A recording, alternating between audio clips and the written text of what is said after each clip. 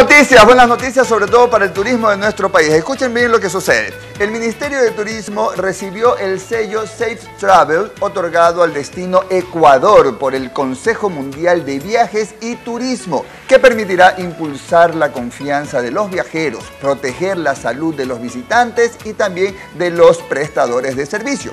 El sello está avalado por el organismo internacional más importante del sector del turismo y constituye un apoyo para el negocio, que por cierto ha estado tan decaído, y para el destino de nuestro país que se convierte en muy confiable para los visitantes, según el Ministerio de Turismo. Este sector es la tercera fuente de ingreso no petrolero después del banano y del camarón.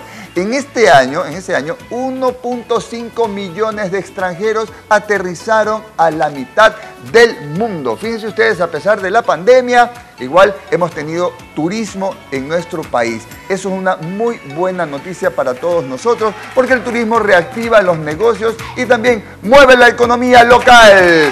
Gracias.